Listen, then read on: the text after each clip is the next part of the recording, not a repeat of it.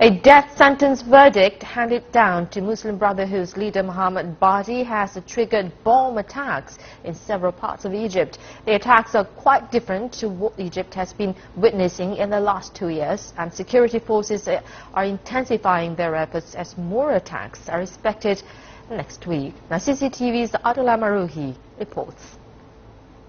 Egypt was relatively free of bomb attacks for over five weeks. But after the Muslim Brotherhood's spiritual leader was sentenced to death on Saturday, at least a dozen attacks hit vital targets in the country. This time, however, security forces were not the main targets. One of the main electricity supply lines to the Egyptian media city was targeted with at least 10 bombs on Tuesday and again on Wednesday. It interrupted broadcast of many television channels.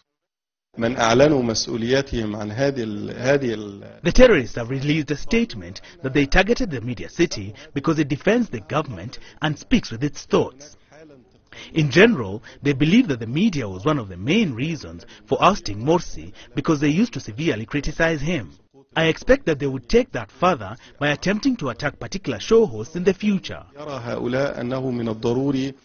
The significance of the attacks was even noticed in the turbulent North Sinai.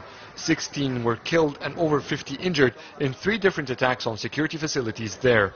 And for the first time, students from the military academy became targets in a tragic attack in Kafr Sheikh, North Cairo.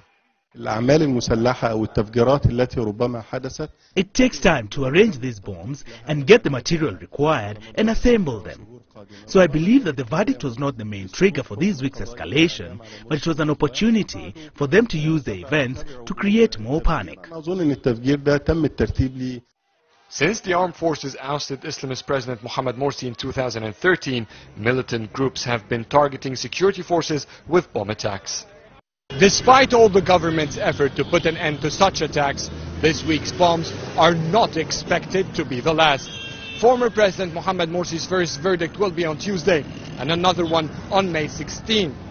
All these verdicts are appealable, yet violent reactions are still expected. Adel Mahroui, CCTV, Cairo.